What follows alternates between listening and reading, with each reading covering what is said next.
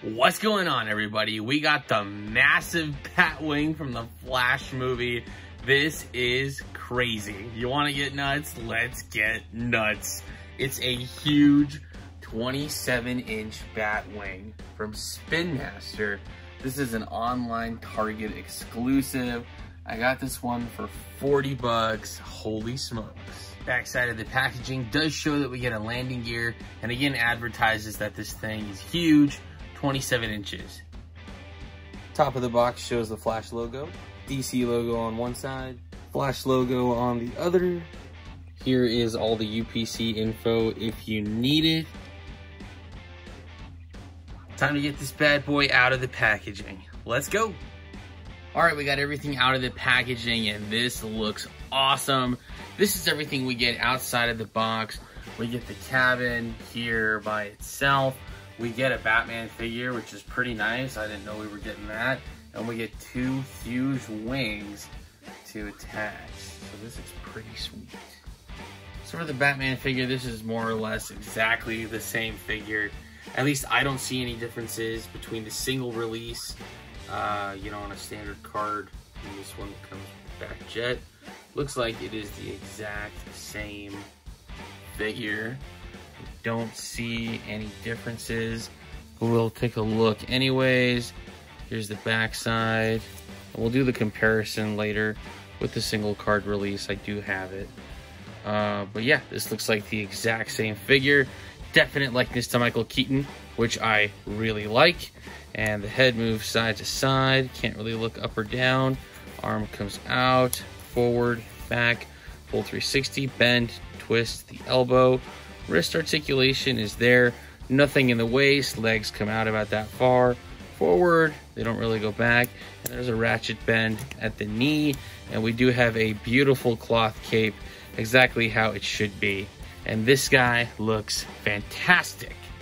For the Batwing, here is the cabin, and it looks really sleek. I really like this design a lot.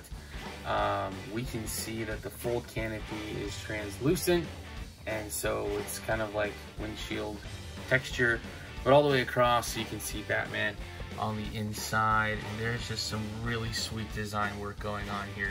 Not a lot of paint um, so it's definitely hard to pick up on camera. Everything is just all black but it does look very nice.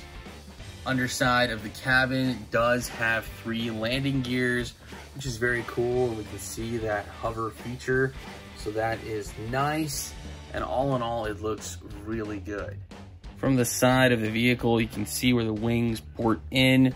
All in all, this looks really nice. I just wish there was some more paint work going on, but it's like a customizer's wonderland for sure. You could have a lot of fun with this. Like I said, the canopy is translucent. Put your thumb right here and then lift up. It's a little bit of a snug fit. But there you go, you can see it's all translucent. And inside is nothing, it's just all empty. Uh, there is the spot where the feet go, so that's nice. And this is where you can put your uh, seven inch figures maybe with a couple of car seats glued in there. I'm just kidding, you can put your 12 inch Batman figure in there. There's a lot of options here with this. You could even do like a Justice League style Javelin 7, get a bunch of seats going in there there are definitely some really good options. The wings are definitely massive, but very light, and it's all the same color black. We do get this piece here, which is, I guess, uh, we'll see. Something probably comes out of it. Maybe some guns, who knows. Uh, on the underside, this is different from the 4-inch version. Uh, there's no landing gear here. All three landing gears are under the cabin. And so this kind of doesn't look like, well, I don't know. I guess you could do it. You could change it up a little bit, but I would say if you were to hang this from the ceiling, you wouldn't want that showing underneath. The underside of the carriage here does not look so good for the wings. But it is light. It's for kids. Honestly, at the end of the day, it does the job and it looks great. And if you're trying to skip out on the McFarlane one that's like 35 inches, this will definitely do the trick. All right, so the landing gears come out nice and easy. There's one, there's two, and here's three. There we go. That looks pretty nice. So it can come off the ground very simply. I like that a lot. And then for the wings, it's a one-time clip-on situation. Let's see if we can do this. Oh man. If you're a kid, you're definitely gonna need your parents. If you're a parent, you might need a second parent. Okay, there's one. Let's see if we can get the other. All right. Let's just clip those in. Oh, it was much easier. I think I got a little scared there and I didn't want to mess it up. This thing, absolutely massive. I love it. Super, super sick. And having trouble keeping it in the frame, absolutely massive. I love it. All right, putting our 12 inch Batman into the Batwing. He just slides on in. You close that. He's in. Pretty cool, nice and simple. Doesn't look like he's gonna go anywhere in there. And you can see just how ridiculous that looks. This, this doesn't look quite right, does it? No, that's because Batman should be sitting at the front of the cabin. But if you're a kid, you're just trying to get that Batman into that Batjet, and it works. Yes, this Batwing does house a 12-inch Batman. I've learned, unfortunately, the canopy does not like to stay up on its own. If you push it back, it will fall. So be careful with that.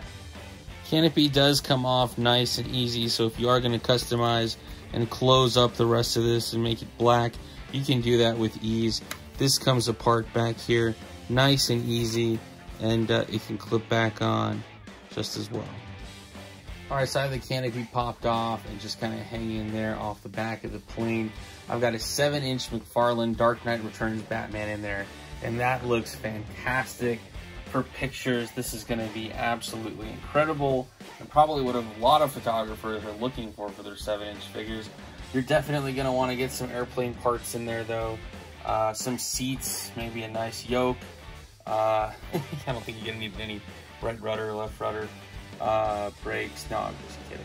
But you kind of get the idea. It's definitely plain in there. You're to need some stuff to make this thing fly. But all in all, this looks really, really good. Could you fit two McFarlane figures in there? Yes. Would it shut? Probably not. Um, I'm kind of thinking you may have to carve out a little bit in there to get some more leg room and figure out how to stack this accordingly. And I'm not a crazy customizer, but I hope if you are, I'm giving you some great ideas. And if you close with two 7-inch McFarlane figures, yeah, it works, but they look like they're shoved in there like they're in a carrying case or something. With some 4-inch Spin Master figures, these actually fit very nice. You get some very simple seats and glue them in there, and you've got enough room for just about everybody, so that looks good. With the canopy closed, that still looks pretty sleek. If you happen to be wondering what other Batmans you have that might fit in here, this is a 1991 Batman Returns Toy Biz figure. He fits in there really well. He's about 10 inches tall. And uh, yeah, that works.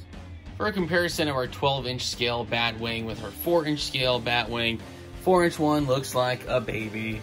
This is crazy. That Batwing is huge. I paid like 30 bucks for this little one with four figures. And uh, for 40 bucks to get something way bigger, it just kind of seems like a no-brainer. And of course, they both have landing gears, so that is pretty sweet. They stay raised up off the ground. But yeah, there they are. Spin Master had made the Hawkman Cruiser in this scale. Oh my goodness. Would have been a lot better. Here they are now.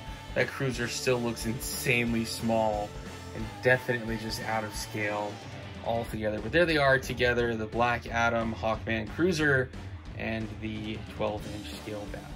And for one more comparison with our Batwing, 12-inch Spin Master comic book style Batmobile and Robert Pattinson Batcycle. These look really, really nice together. Vehicles for our 12-inch figures. Absolutely fantastic. All right, so I have the Batjet Batman on the right and the single card release on the left. And I gotta say, they look exactly the same. Spin Master, you're still killing me here with this. You could have done a variant paint deco only for the Batjet or something. Something with the paint variants. uh, that'd be sweet. But anyways, these are the same thing. Alright, you guys, that about does it for this action figure review. Thank you so much for watching. Once again, Target.com exclusive 12 inch scale Batwing from the upcoming Flash movie from Spin Master. This thing is epic. I don't think I have anything in my collection quite like this. Definitely worth the pickup. 10 out of 10. Highly recommended for the money and the scale. It's so cool, you guys. Let me know your thoughts in the comments below if you're going to pick up or pass on this one and what you're finding in your local areas. I would love to hear from you. As always, we've got a lot coming. There's a lot of new toys, so keep it right here at my channel. As I find more new cool and awesome stuff, I'll be sure to bring it to you here. The likes, comments, shares, subscriptions, the viewership, it's been phenomenal. Thank you, each and every one of you. I appreciate you all. Once again, I'm Branden. Thanks for watching.